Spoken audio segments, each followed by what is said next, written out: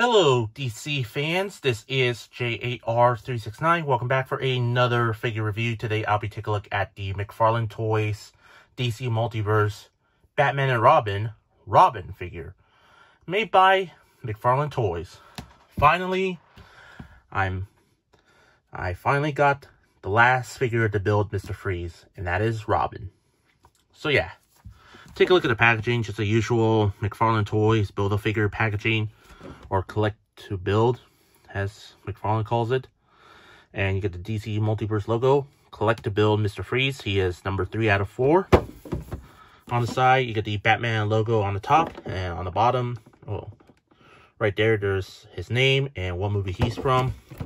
Other side, just the name, DC Multiverse. On the back, there's the card image of Mr. Freeze, and there's other characters you might collect which I already reviewed all of them and owned them. So that's about it. Let's take out Robin out of the package.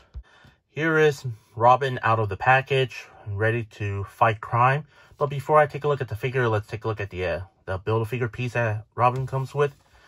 He does come with the left arm and right arm, the left and right arm of Mr. Freeze.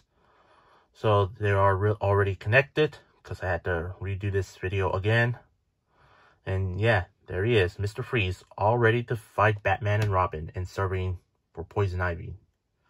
So yeah, a review of this figure will be coming soon. But let's take a closer look at Robin here. Uh, the likeness, well, normally when I review the DC McFarlane multiverse figures, yeah, some of the um the head sculpt likeness to the actors are like a hit or miss. But for this one, well, I would say uh, like 50-50 chances that of this figure could be a hit. I mean, it does look like Chris O'Donnell a little bit, but it just looks alright, to be honest.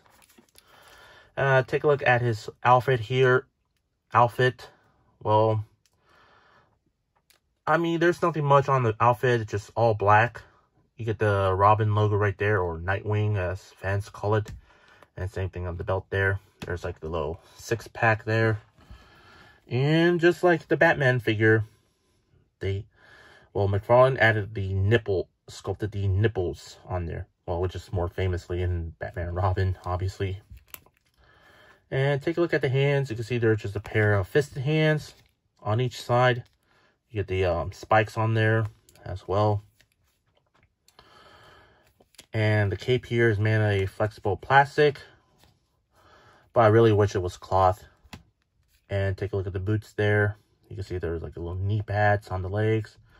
And back to the boots there. You can see like little Robin or Bat logo right there on each side of the boots. Uh, nothing much the lower ankles. And on the bottom, there's some legalese and pegos in the bottom of his feet there. Overall, for the figure itself, the the body sculpt on this figure looks pretty good. The um the head sculpt, eh, looks alright-ish, to be honest. But, nevertheless, this figure is, it's, it's really good. Pretty decent.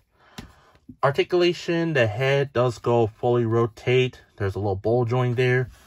Arms do go fully rotate, and there's like a little ball joint there as well. And does go in and out. Upper arm rotation. Double jointed elbows. And lower wrist rotation. Hinge, upper wrist rotation there as well. And there's the app upper waist movement, lower waist movement, legs forward and back, in and out. No rotation at the upper leg because it's stuck in there. Then at the the knees, which is are now loose. Well, not that loose, but a little bit loose, but that's fine because I actually cut the edges there. And there's the upper leg rotation. I mean, well, the upper leg rotation, ankle, I would say, and and pivot forward back and ankle pivot side to side, and a toe articulation there as well.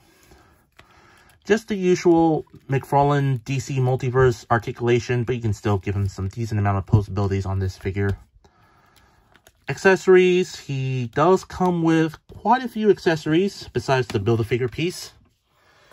He does come with some of the freeze effects here for for Robin, Which, when I saw a promotional image of the this piece right, right there, which I thought is supposed to be for the legs, well, but when I seen reviews of this guy, yeah, it looks like it's supposed to be for the head here. Because if you remember from the beginning of Batman and Robin, when Robin's about to grab Mr. Freeze, but Mr. Freeze quickly froze him, like so. And put him like that. Come on. There we go. Just like that. You can have him do like this, like so.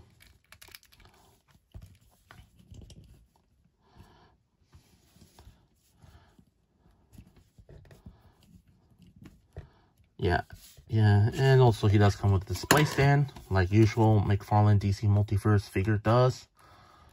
And, well, let me put that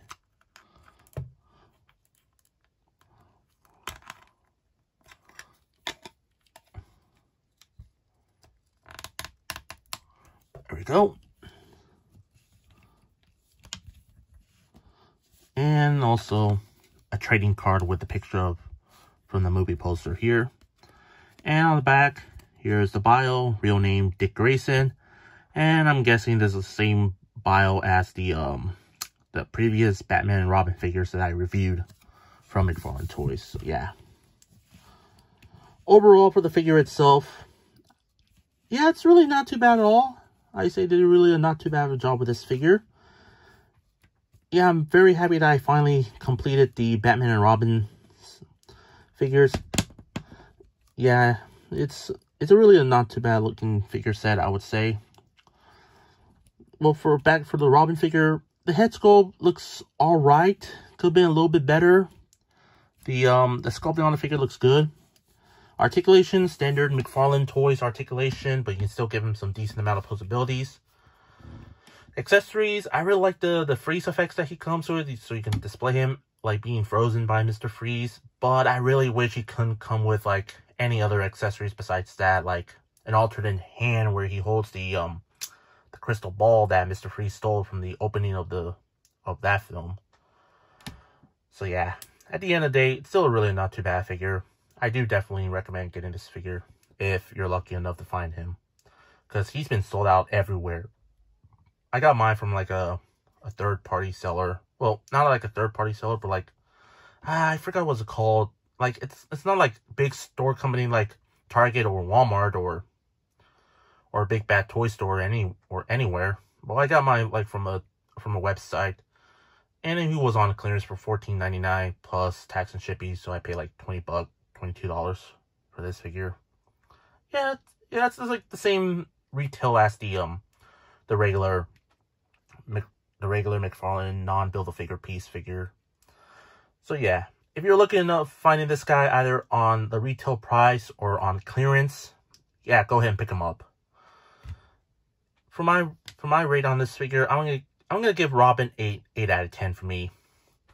I hope you enjoyed my review. If you did, please consider like, comment, share, and subscribe if you're new to my channel. And follow me on Instagram and threads. Both links will be in the description down below. That's all I have to say. This is the McFarlane Toys DC Multiverse Robin figure made by McFarlane Toys. And this is JAR369. Thank you very much for watching. And I'll see you on my next review. And remember, keep on collecting.